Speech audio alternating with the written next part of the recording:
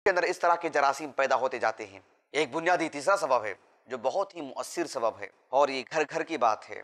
और ये ज़िंदगी में इस तरह के मौाक़े बहुत आते भी रहते हैं। वो ये है कि अजनबी औरतों से अपने आप को बचाने की पूरी कोशिश करना चाहिए, कि किसी तौर पर भी हमारा वास्ता अजनबी औरतों से ऐसा ना हो कि जहाँ हम और वो हो रहे हैं, जहाँ तनहाई में एक दूसरे का सामना हो जाए। इस तरह से अपने आप को बचाने की कोशिश करना चाहिए।